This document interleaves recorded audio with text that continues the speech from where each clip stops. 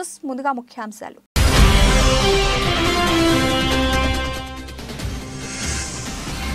కెనడాలో కాల్పులు ఐదుగురి మృతి.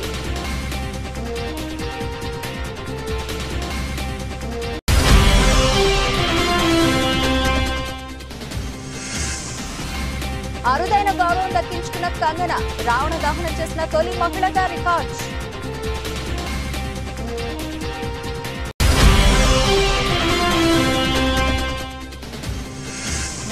భువనేశ్వరి బస్సు యాత్ర ప్రారంభం.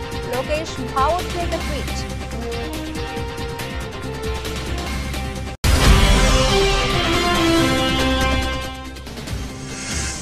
బీజేపీకి బిగ్ షాక్ కాంగ్రెస్ గూటికి కోమటిరెడ్డి రాజగోపాల్ రెడ్డి. అమిత్ షాకు రుణపడి ఉంటానని వెల్లడి.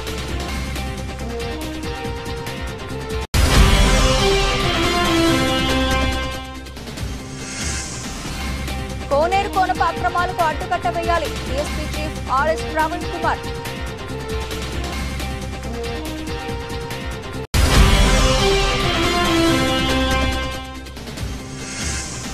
Para Asia క్రీడల్లో భారత్కు మరో స్వర్ణం జావెలిన్ త్రోలో సుమిత్ ప్రపంచ రికార్డ్.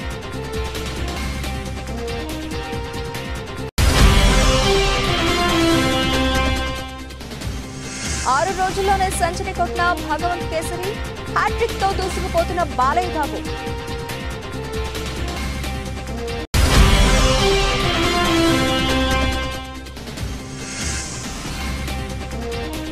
లాభాల్లో సెన్సెక్స్ నిఫ్టీ కోలుకున్న గ్లోబల్ మార్కెట్లు రైతుకి డీటెయిల్స్ చూస్తే కెనడాలోని ఉత్తర అంటారియో నగరంలో జరిగిన కాల్పుల్లో ముగ్గురు చిన్నారులు సహా ఐదుగురు మరణించారు.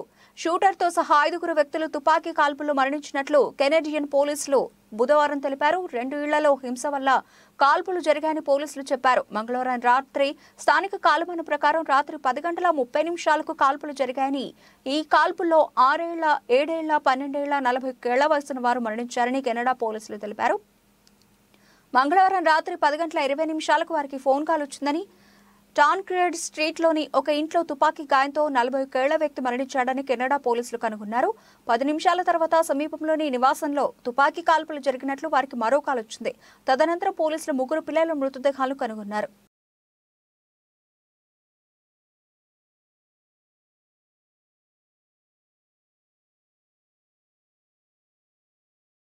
బాలీవుడ్ స్టార్ నటి కంగనా రనౌత్ అరుదైన గౌరవం దక్కించుకున్నారు. దసరా సందర్భంగా దేశ రాజధాని ఢిల్లీలోని రామ్లీలా మైదానంలో నిర్వహించిన రావణ దహన్ కార్యక్రమంలో పాల్గొన్నారు. ఈ సందర్భంగా అక్కడ రావణ దహనం చేశారు. యాభై ఏళ్ళ చరిత్రలో మొదటిసారి ఓ మహిళ ఈ కార్యక్రమానికి వెళ్ళి రావణ దహనం చేయడం ఇదే తొలిసారి. దీంతో రావణ దహనం చేసిన తొలి మహిళగా కంగన రికార్డుకెక్కారు. కాగా రావణ్ దహన్ కార్యక్రమంలో కంగన సాంప్రదాయ వస్త్రధారణలో మెరిసిపోయారు.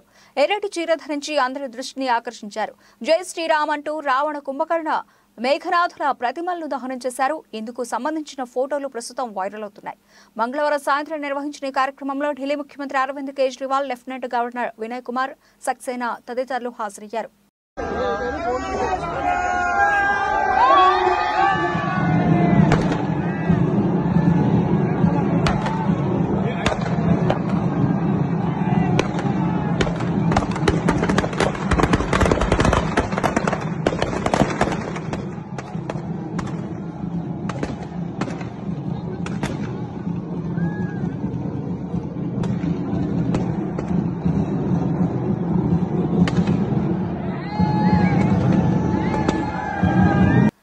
చంద్రబాబు అక్రమ అరెస్టును ఖండిస్తూ చంద్రబాబు అరెస్టును తట్టుకోలేక మృతి చెందిన వారి కుటుంబాలను పరామర్శించేందుకు ఆయన సతీమణి. నారా భువనేశ్వరి బస్సు యాత్ర ద్వారా రాష్ట్రంలో పర్యటించేందుకు సిద్ధమయ్యారు. బుధవారం నిజం గెలవాలి పేరిట నారా భువనేశ్వరి బస్సు యాత్ర ప్రారంభమైంది. ఈ బస్సు యాత్ర బుధవారం ఉదయం చంద్రగిరి నియోజకవర్గంలో ప్రారంభం కాగా చంద్రబాబు అరెస్టుతో ఆవేదనతో మృతి చెందిన కె. చిన్నస్వామి నాయుడు ఏ ప్రవీణ్ రెడ్డి కుటుంబాలను భువనేశ్వరి తొలి రోజు పరామర్శించారు. పరామర్శ అనంతరం చంద్రబాబు అక్రమారసును నిరసిస్తూ చేపట్టిన నిజం గెలవాలి కార్యక్రమంలో ఆమె పాల్గొంటారు. సాయంత్రం అగరాల గ్రామంలో జరిగే బహిరంగ సభలో పాల్గొని ప్రసంగిస్తారు. ఈ బస్సు యాత్రలో భాగంగా మృతుల కుటుంబాలను పరామర్శించడంతో పాటు పలు సభలు సమావేశాల్లో ఆమె పాల్గొని ప్రసంగిస్తారు. నారా భువనేశ్వరి బస్సు యాత్ర ప్రారంభమైన నేపథ్యంలో ఆమె కుమారుడు టీడీపీ జాతీయ ప్రధాన కార్యదర్శి నారా లోకేష్ భావోద్వేగ ట్వీట్ చేశారు. అమ్మ తప్పక నిజం గెలుస్తుందని పేర్కొన్నారు. చంద్రబాబు నాయుడు భువనేశ్వరి కలిసి వెళుతున్న ఫోటోను లోకేష్ షేర్ చేశారు.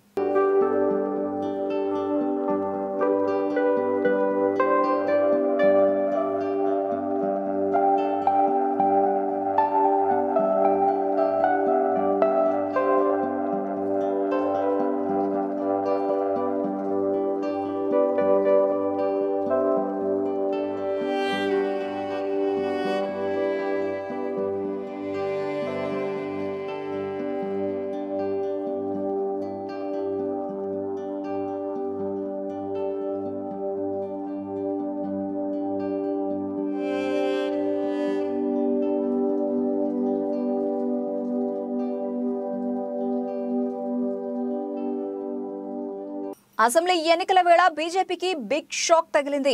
ఆ పార్టీకి చెందిన కీలక నేత మాజీ ఎమ్మెల్యే కోమటిరెడ్డి రాజగోపాల్ రెడ్డి రాజీనామా చేశారు. ఈ మేరకు బుధవారం ఉదయం ఓ ప్రకటన విడుదల చేశారు. తిరిగి కాంగ్రెస్ కూటికి చేరుతున్నట్లు ప్రకటించారు. కేసీఆర్ను గద్దెదించేందుకే ఈ నిర్ణయం తీసుకున్నట్లు రాజగోపాల్ రెడ్డి ప్రకటించారు. బీఆర్ఎస్కు బీజేపీ ప్రత్యామ్నాయం అనుకుని ఆ పార్టీలో చేరడం జరిగిందని కానీ ఇప్పుడు బీఆర్ఎస్కు కాంగ్రెస్ ప్రత్యామ్నాయంగా మారడంతో తిరిగి కాంగ్రెస్లో చేరుతున్నానని తెలిపారు. మరో ఐదు వారాల్లో కేసీఆర్ పాలన అంతం కాబోతోందని రాజగోపాల్ రెడ్డి అన్నారు. ఎల్లుండి ఢిల్లీలోని రాహుల్ గాంధీ ఖర్గే సమక్షంలో రాజగోపాల్ రెడ్డి కాంగ్రెస్ కండుగా కప్పుకోనున్నారు. కేసీఆర్ కుటుంబం దుర్మార్గపు పాలన నుంచి తెలంగాణను విముక్తి చేయాలనే తన ఆశయం మరో ఐదు వారాల్లో నెరవేరుతుందని భావిస్తున్నానని పేర్కొన్నారు. రాష్ట్రంలో ప్రభుత్వ వ్యతిరేకత తీవ్ర స్థాయిలో ఉంది. ప్రజలు మార్పును కోరుకుంటున్నట్టు స్పష్టమవుతోంది. ఏడాదిన్నర క్రితం తెలంగాణలో అధికార బీఆర్ఎస్కు ప్రత్యామ్నాయంగా ఎదిగిన బీజేపీ ఆ తర్వాత జరిగిన రాజకీయ పరిణామాల్లో కొంత డీలా పడింది. ఇప్పుడు తెలంగాణ ప్రజలు అధికార బీఆర్ఎస్కు ప్రత్యామ్నాయంగా కాంగ్రెస్ను భావిస్తున్నారు. అందుకే తాను కూడా తెలంగాణ ప్రజల ఆలోచనలకు అనుగుణంగా వ్యవహరించాలని నిర్ణయించుకున్నానంటూ కోమటిరెడ్డి రాజగోపాల్ రెడ్డి ప్రకటనలో పేర్కొన్నారు.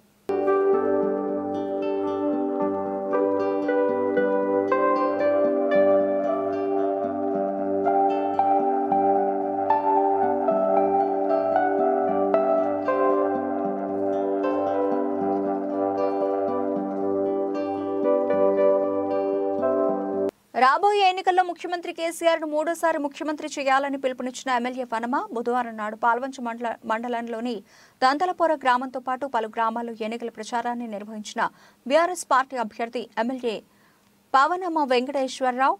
నవంబర్ ఐదు కొత్తగూడెం ఎన్నికల ప్రచారానికి కేసీఆర్ వస్తున్న నేపథ్యంలో అధిక సంఖ్యలో ప్రజలు పాల్గొనాలని పిలుపునిచ్చారు.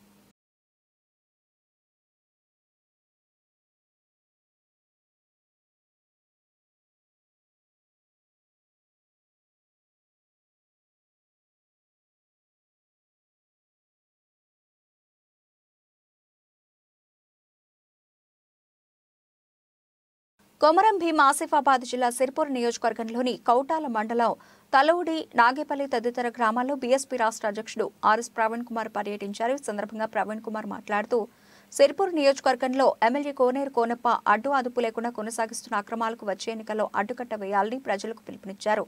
తలవుడి నాగేపల్లి గ్రామాల్లో వివిధ పార్టీలకు చెందిన కార్యకర్తలు భారీగా బీఎస్పీలో చేరారు. ఈ కార్యక్రమంలో బహుజన్ సమాజ్ పార్టీ నాయకులు కార్యకర్తలు పాల్గొన్నారు. ముప్పై కాళ్ళు పట్టుకుంటా. మా తొమ్మిది అయితే స్టార్ట్ చేయండి. మాకు తొమ్మిది లిఫ్ట్ ఇరిగేషన్ స్కీమ్లు ఉన్నాయి. స్టార్ట్ చేయండి. ఐదు కేసీఆర్ చేయకపోయినా? ఎప్పుడైనా కాళ్ళు పట్టుకున్నారా? కోనేరు కోనప్ప? పట్టుకోలేదు. మరి ఎందుకు పట్టుకున్నారు కోనేరు సార్ నాకు మంచి ఎస్పీని ఇవ్వండి. ఎస్పీని ఇస్తే నేను సట్ట ఆడుకుంటా. నేను ఈ నాగేపల్లి గ్రామస్తుల మీద అక్రమంగా కేసులు పెడతా. నేను వాళ్ళ మీద కేసులు పెడతా. నా దండాలు నడిపించుకుంటా అని చెప్పి అట్లా పోయి అడిగండి తప్ప మీ ప్రాంత ప్రజల ఈ ప్రాంత ప్రజల మరి జీవితాల గురించి చెప్పి అడగలేదు. అట్లాంటి దొంగను అర్జెంట్గా పంపించాలి ఇంటికి. మరి మీరు నాగేపల్లి ఒక్కటే కాకుండా మిగతా గ్రామాలు అన్ని కూడా ఎన్ని గ్రామాలు ఉంటే ఆ చుట్టుపక్కల గ్రామాల్లో మన భారత కులస్తులందరూ కూడా దయచేసి చెప్పండి. మేము నాగేపల్లిలో వన్ సైడ్ అవుతామని చెప్పేసి తీర్మానం చేసుకున్నాము. మీరు కూడా తీర్మానం చేసుకో దసరా పండుగ ముగిసింది. ఇక అసలు సిసలు రాజకీయ సందడి ఆసిఫాబాద్ నియోజకవర్గంలో ప్రారంభమవుతోంది. ఎన్నికల్లో కీలక ఘట్టమైన ప్రచార పర్వానికి పార్టీలు సిద్ధమవుతున్నాయి. ఇప్పటికే భారత్ ఆసిఫాబాద్ అభ్యర్థిని ప్రకటించగా కాంగ్రెస్ భాజపాలు అభ్యర్థులను ప్రకటించలేదు. అయినా ఎవరికి వారే ప్రచారాలు చేసుకుంటున్నారు? ఆసిఫాబాద్ నియోజకవర్గంలో బీఆర్ఎస్ పార్టీల ప్రత్యర్థులు ఎవరో తేలిపోగా ఆసిఫాబాద్లో మాత్రం కాంగ్రెస్ భాజపాల నుంచి అభ్యర్థుల ఎంపిక విషయంలో నిరీక్షణ తప్పడం లేదు. ఆసిఫాబాద్ నియోజకవర్గంలో రంగంలోకి దింపే వారి విషయంలో ఆయా పార్టీల పెద్దలు తర్జన భర్జన పడుతున్నారు. ప్రత్యర్థుల బలాలను గుర్తెరిగి గెలుపు గుర్రాలకి అవకాశం ఇవ్వాలనే ఉద్దేశంతో మరింత కసరత్తు చేస్తున్నారు. ఇందుకోసం సామాజిక సమీకరణాలతో పాటు పలు కోణాల్లో ఎంపికకు ప్రాధాన్యత ఇస్తున్నారు. మరో తొమ్మిది రోజుల్లో నామినేషన్ల అంకం మొదలు కానుండడంతో అన్ని పార్టీల్లోనూ పోటీదారుల విషయంలో ఆసక్తి నెలకొంది.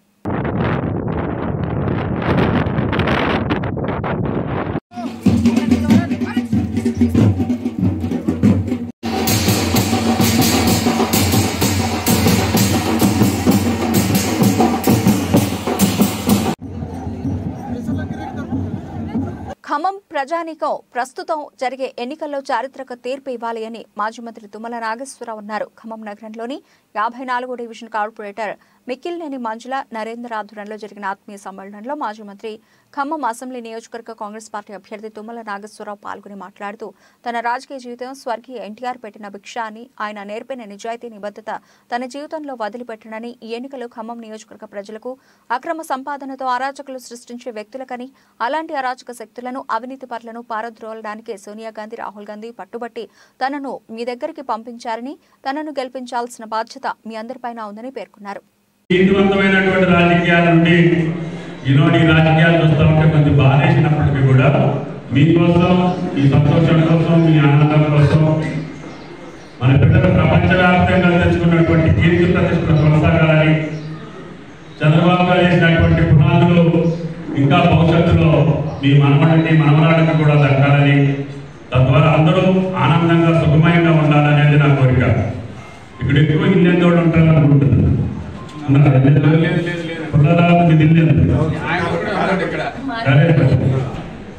ఆ నియోజకవర్గంలో చూసుకున్నా కూడా మీకు తెలుస్తుంది. మీరు చదువుకునేటప్పుడు ఎట్టుంది మీరు బిడ్డప్పుడు ఎట్టుంది తర్వాత ఎట్టుంది అనేది. అదంతా కూడా ఎన్టీఆర్ గారి పుట్టింది నాకు అవకాశం ఇచ్చారు కాబట్టి అది ఉండాలా శక్తిపంగా అక్కడ నక్సలైట్లు ఉండాలని నేను చూడాలి. అక్కడ ఉండేటటువంటి ప్రజల సుఖంగా ఉండాలని చెప్పి నా ప్రయత్నం కొనసాగించాను అలా రకంగా చేసుకున్నాను సత్యనారాయణ గారు అన్నీ చెప్పారు. ఇది కొత్తగా ఏం చెప్పను కానీ బ్రహ్మణ గారు చెప్పినట్టుగా మీరు ఓటు కోసం రాలా నేను మీ దగ్గరికి. ఓట్లు వేయించేవాడు కాబట్టి నమస్కారం పెట్టేద్దామని వచ్చాను. మొన్న ర్యాలీ ఎంత పట్టుదలతో చేశారో నా ఎన్నిక కూడా మీరు అంత పట్టుదలతో చేశారు. ఒక్క మాట మీకు గుర్తు చేయడానికి వచ్చాను. ఇది మీ ప్రతిష్టకి మీ గౌరవానికి మీ కీర్తికి సంబంధించినటువంటి ఎన్నిక ఖమ్మం అభివృద్ధికి అహంకారానికి మధ్య జరుగుతున్న యుద్ధమని ఖమ్మం నియోజకవర్గ బీఆర్ఎస్ పార్టీ అభ్యర్థి పువ్వాడ అజయ్ కుమార్ అన్నారు. ఖమ్మం నగరం నెహ్రూ నగర్లో జరిగిన ఆత్మీయ సమ్మేళనంలో పువ్వాడ పాల్గొని మాట్లాడారు. ఖమ్మం నగర అభివృద్ధికి ఒక పెద్ద మనిషి అహంకారానికి మధ్య జరిగిన పోరు అని మంత్రి అన్నారు. కేవలం రాజకీయ స్వార్థ ప్రయోజనాల కోసం జరుగుతున్న పోరాటంలో అభివృద్ధి గెలుస్తుందని పువ్వాడ అజయ్ కుమార్ ధీమా వ్యక్తం చేశారు. ఖమ్మం ప్రజలను తన కుటుంబ సభ్యుల వల్ల చూశానని ఇక్కడ ప్రజలు తన అన్నలు తమ్ముళ్ళు అక్క చెల్లెలు అని అన్నారు. ఇక్కడ ఒక నాయకుడు కాంగ్రెస్ అధికారంలోకి వస్తే పోలీసులను జీప్ల ముందు పరిగెత్తిస్తా అంటూ మాట్లాడడం సిగ్గుచేటన్నారు అప్పుడే అధికారం వచ్చేసినట్టు భావించడం అలాగే వారి అజ్ఞానానికి నిదర్శనం అని అన్నారు. తనను హాసిన్ రజ్వీతో పోల్చడం హాస్యాస్పదంగా ఉందని ఎక్కడ ఏ అన్యాయం చేశానో రజాకారుల పాలన ఎప్పుడు చేశానో చెప్పాలన్నారు. చెప్పినప్పుడు కూడా చెప్పారు. వారు ఏమన్నారంటే ఎవరైతే అసాంఘిక శక్తులు ఉంటారో ఆ అసాంఘిక శక్తుల్ని పీచవండించే బాధ్యత ప్రభుత్వం తీసుకోకపోతే మనకి రక్షణ ఎక్కడ ఉంటుంది? మనకు ఆస్తులకు రక్షణ ఎక్కడ? మన ఆడబిడ్డల రక్షణ ఎక్కడ? కాబట్టి రాజ్యం వేలే లేదా పరిపాలన చేసే ప్రభుత్వం ప్రాథమిక బాధ్యత డెఫినెట్గా ఆ ఊర్లో శాంతి భద్రతలు ఉండటం కోసం యాంటీ సోషల్ ఎలిమెంట్స్ వ్యతిరేకంగా పనిచేయాల్సిన అవసరం.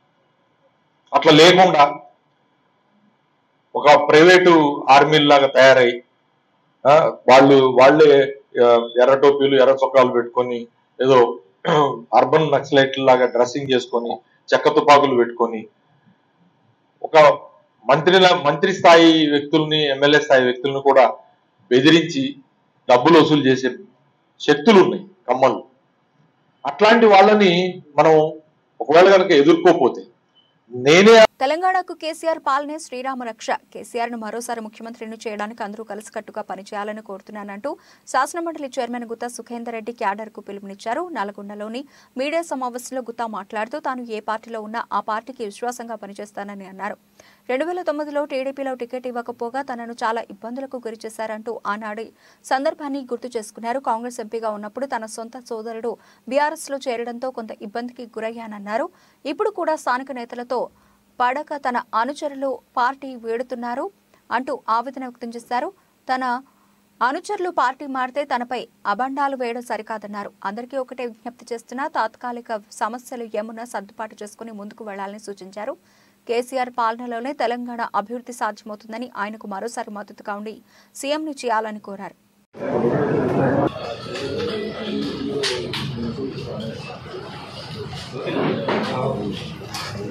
స్టార్ట్ చేద్దామా?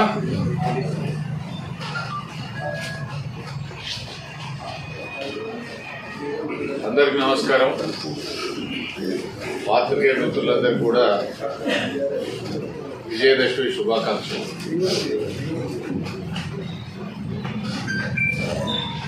రాష్ట్రంలో ఎన్నికల ప్రక్రియ ప్రారంభమైంది. షెడ్యూల్ విడుదలైంది. వివిధ రాజకీయ పార్టీలో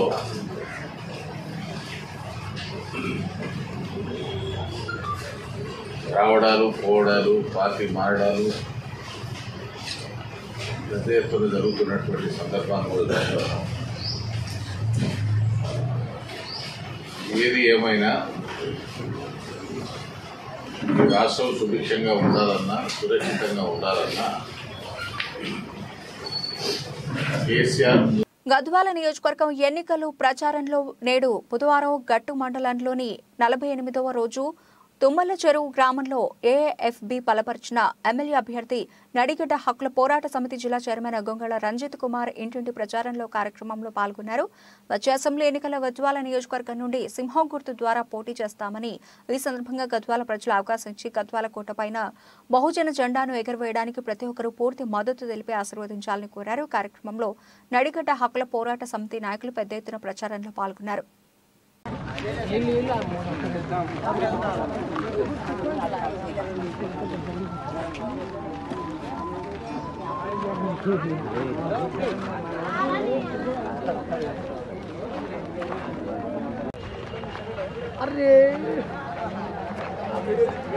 చైనాలోని హాంగ్జౌ వేదికగా జరుగుతున్న ఆసియా పారా క్రీడల్లో భారత్ జోరు కొనసాగుతోంది. ఇటీవల ముగిసిన ఆసియా క్రీడల్లో వంద పథకాల మార్క్ దాటి చరిత్ర లిఖించగా ఇప్పుడు పారా ఆసియా క్రీడల్లోనూ మన వాళ్ళ మెడల్స్ వేట కొనసాగిస్తూ ఉన్నారు. Men's javelin throw F sixty four విభాగం ఫైనల్లో భారత అథ్లెట్స్ సుమిత్ పుష్పేంద్ర సింగ్ పథకాలు సొంతం చేసుకున్నారు. డెబ్బై మూడు పాయింట్ రెండు తొమ్మిది మీటర్ల దూరం బలం విసిరిన సుమిత్ స్వర్ణం దక్కించుకున్నాడు. దీంతో పారా ఆసియా క్రీడలతో పాటు ప్రపంచ రికార్డు ఆసియా రికార్డును తన పేరున లిఖించుకున్నాడు. ఇక అదేవిధంగా అరవై రెండు పాయింట్ సున్నా ఆరు మీటర్ల దూరం విసిరిన పుష్పేంద్ర సింగ్ కాన్సింగ్ గెలుపొందాడు. శ్రీలంక ఆటగాడు సమిత అరవై రెండు పాయింట్ నాలుగు రెండు మీటర్లతో సిల్వర్ మెడల్ను తన ఖాతాలో వేసుకున్నాడు. కాగా పారా ఆసియా క్రీడల్లో ముప్పై ఆరు పథకాలతో పట్టికలో భారత్ ఐదో స్థానంలో కొనసాగుతోంది. ఇందులో పది స్వర్ణాలు పన్నెండు రజతాలు పద్నాలుగు కాంస్యాలు ఉన్నాయి. రెండు వేల పద్దెనిమిదిలో జరిగిన పారా ఆసియా క్రీడలో భారత్ పదిహేను స్వర్ణాలు సహా డెబ్బై రెండు పథకాలు గెలుపొందిన విషయం తెలిసిందే. ఈసారి పారా క్రీడల్లో భారత్ భారీ బలగంతో బరిలోకి దిగింది. మూడు వందల మూడు అథ్లెట్లు పాల్గొన్నారు. Uh, and that might be it. I think that will be a new world record. I think that might just be a new world record for the great man. That world record sits at 70.83. Balakrishna హీరోగా అనిల్ రావిపూడి దర్శకత్వంలో తెరకెక్కిన Bhagavanth Kesari cinema October పంతొమ్మిదిన ప్రేక్షకుల ముందుకు వచ్చి మంచి విజయం సాధించింది. బాలయ్యకు జోడీగా కాజల్ అగర్వాల్ నటించగా శ్రీలీల మాలయ్య బాబుకి కూతురు పాత్రలో నటించి మెప్పించింది. బాలయ్య నుంచి వచ్చే regular action movie Anil Ravipudi నుంచి వచ్చే రెగ్యులర్ కామెడీ కమర్షియల్ మూవీ కాకుండా భిన్నంగా ఎమోషన్స్ మెసేజ్లతో భగవంత్ కేసరి సినిమా ప్రేక్షకులను మెప్పించింది. దీంతో మొదటి రోజు నుంచి పాజిటివ్ టాక్ తెచ్చుకొని భగవంత్ కేసరి సినిమా మంచి విజయం సాధించింది. ఇక ఈ సినిమా మొదటి రోజే రోజు ముప్పై మూడు కోట్ల రూపాయలకు పైగా కలెక్ట్ చేసి అదరగొట్టింది. మూడు రోజుల్లోనే డెబ్బై కోట్లకు పైగా గ్రాస్ కలెక్ట్ చేసిన భగవంత్ కేసరి ఆరు రోజుల్లో నూట నాలుగు కోట్లు కలెక్ట్ చేసి సెంచరీ కొట్టింది. భగవంత్ కేసరి సినిమా ఆరు రోజులు నూట నాలుగు కోట్ల గ్రాస్ కలెక్ట్ చేసినట్లు చిత్ర యూనిట్ అధికారికంగా ప్రకటించింది.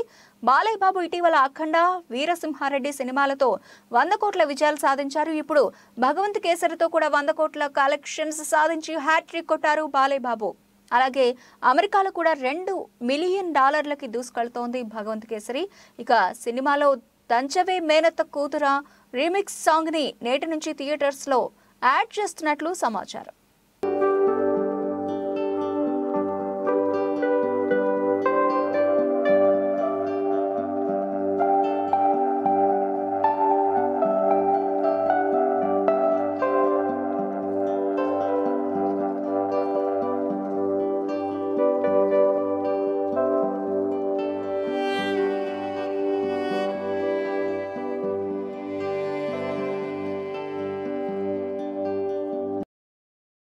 ఈ వారం ప్రారంభంలో మొదటి రోజు స్టాక్ మార్కెట్లు ఇన్వెస్టర్లకు పెద్ద షాక్ ఇచ్చాయి. అయితే నేడు అంతర్జాతీయ మార్కెట్ల సానుకూలతల మధ్య దేశీయ సూచీలు స్వల్ప లాభాలతో తమ ప్రయాణాన్ని మొదలుపెట్టాయి. ఉదయం తొమ్మిది గంటల పదిహేడు నిమిషాల సమయంలో బెంచ్ మార్క్ సూచీ సెన్సెక్స్ నూట నలభై నాలుగు పాయింట్ల లాభంతో ఉండగా మరో కీలక సూచీ నిఫ్టీ నలభై ఆరు పాయింట్ల లాభంతో తమ ప్రయాణాన్ని కొనసాగిస్తోంది. ఇదే సమయంలో నిఫ్టీ బ్యాంక్ సూచీ నూట ఇరవై మూడు పాయింట్లు నిఫ్టీ మిడ్ క్యాప్ సూచీ నూట డెబ్బై ఆరు పాయింట్ల లాభాలతో నేడు ఇంట్రాడేలో కొనసాగుతున్నాయి. ప్రధానంగా గ్లోబల్ మార్కెట్ల సానుకూలతలు దీనికి కలిసొచ్చాయని చెప్పుకోవాలి. ఇదే క్రమంలో మిడ్ క్యాప్ కంపెనీలు ప్రధానంగా ఫోకస్లో కొనసాగుతున్నాయి. ప్రధానంగా యుఎస్ బ్యాండ్ ఈల్డ్స్ వెనక్కి తగ్గడం ఈక్విటీ మార్కెట్లు తిరిగి పుంజుకోవడానికి కారణంగా నిలిచాయి. ఇది మార్కెట్లలో ఆందోళనను కలిగిస్తోంది. ప్రధానంగా గిఫ్ట్ నిఫ్టీ మార్కెట్ల ప్రీ ఓపెనింగ్ స్వల్ప లాభాలు కొనసాగడం ఆందోళనలు కలిగించినప్పటికీ మార్కెట్లు నేడు శుభార శుభారంభాన్ని నమోదు చేశాయి. వరుసగా నాలుగు స్టేషన్లలో దేశీయ మార్కెట్లు నష్టాలను చవిచూడటం కీలక సూచీలు సపోర్ట్ లెవెల్స్ వద్దకు చేరుకోవడం ఇన్వెస్టర్లను కొంత ఆందోళనకు గురిచేస్తుంది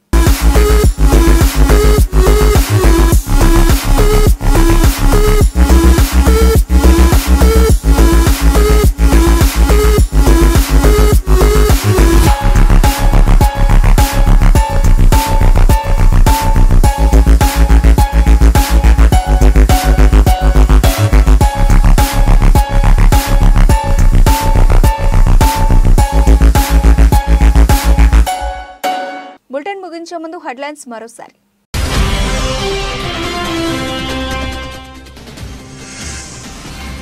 కెనడాలో కాల్పులు ఐదుగురి మృతి.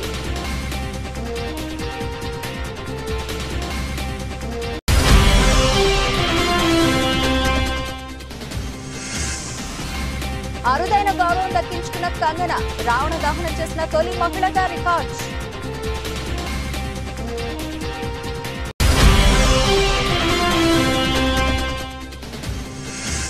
భువనేశ్వరి బస్సు యాత్ర ప్రారంభం.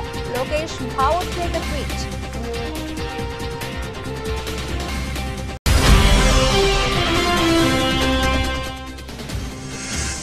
బీజేపీకి బిగ్ షాక్ కాంగ్రెస్ గూటికి కోమటిరెడ్డి రాజగోపాల్ రెడ్డి. అమిత్ షాకు రుణపడి ఉంటానని వెల్లడి.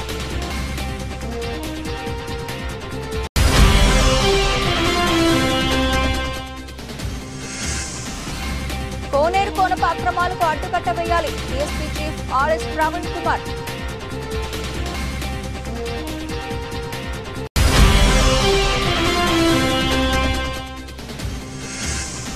Para Asia క్రీడల్లో భారత్కు మరో స్వర్ణం జావెలిన్ త్రోలో సుమిత్ ప్రపంచ రికార్డ్.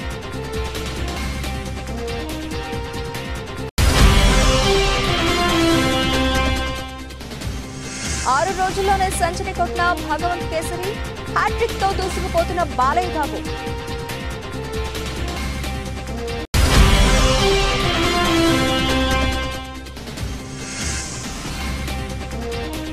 లాభాల్లో సెన్సెక్స్ నిఫ్టీ కోలుకున్న గ్లోబల్ మార్కెట్లు. ఇవి ఇప్పటివరకు నా బులెటిన్ అప్డేట్స్. మరిన్ని అప్డేట్స్తో మళ్ళీ కలుద్దాం. అంతవరకు సెలవు. నమస్తే.